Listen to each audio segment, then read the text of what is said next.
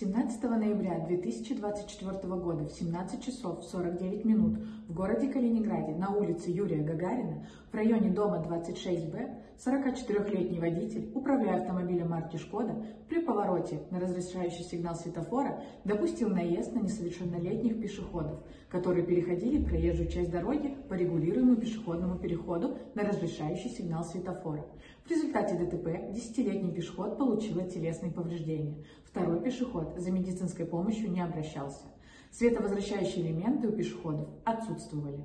Согласно пункту 13.1, при повороте налево водитель обязан уступить дорогу пешеходам, лицам, использующим для передвижения средства индивидуальной мобильности и велосипедистам, пересекающим проезжую часть дороги, на которую он поворачивает.